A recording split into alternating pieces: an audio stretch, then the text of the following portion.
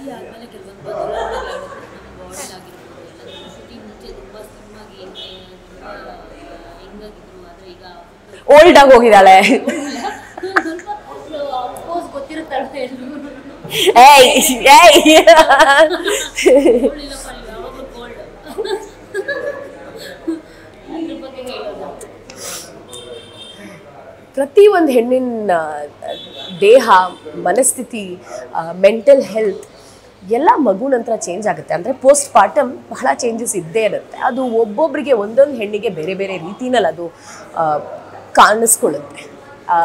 ನಂದು ಒಂದು ಜರ್ನಿ ನಂದು ಒಂದು ಎಕ್ಸ್ಪೀರಿಯನ್ಸ್ ನನ್ನ ಬಾಡಿ ಅದ್ರದ್ದು ಆಫ್ಟರ್ ಮಾತು ನಮ್ಮ ಹಾರ್ಮೋನಲ್ ಲೆವೆಲ್ಸ್ ಅಂತಾರಲ್ಲ, ಅದು ನನಗೆ ಇಂಡಿವಿಜುವಲಿ ನನಗೆ ಸೇರಿದ್ದದು ಸೊ ಖಂಡ್ ಈಗ ನನಗೆ ವೆಯ್ಟ್ ಲಾಸ್ ಆಗಿ ಮತ್ತೆ ಒಂದು ರುಟೀನ್ಗೆ ಹೋಗೋಕ್ಕೆ ತುಂಬ ಕಷ್ಟ ಆಗ್ತಿದೆ ಈವನ್ ಮೆಂಟಲಿ ಯುನೋ ಸರಿ ಓಕೆ ವರ್ಕೌಟ್ ಪ್ರತಿದಿನ ಮಾಡ್ತಿದ್ದೀನಿ ಬಟ್ ಡಯಟಿಂಗ್ ನಂಗೆ ಮಾಡೋಕ್ಕೆ ಆಗ್ತಾ ಇಲ್ಲ ಯುನೋ ಬಟ್ ಅದು ಬಹಳ ಮುಖ್ಯ ಆಗುತ್ತೆ. ಸೊ ಹಾಗಾಗಿ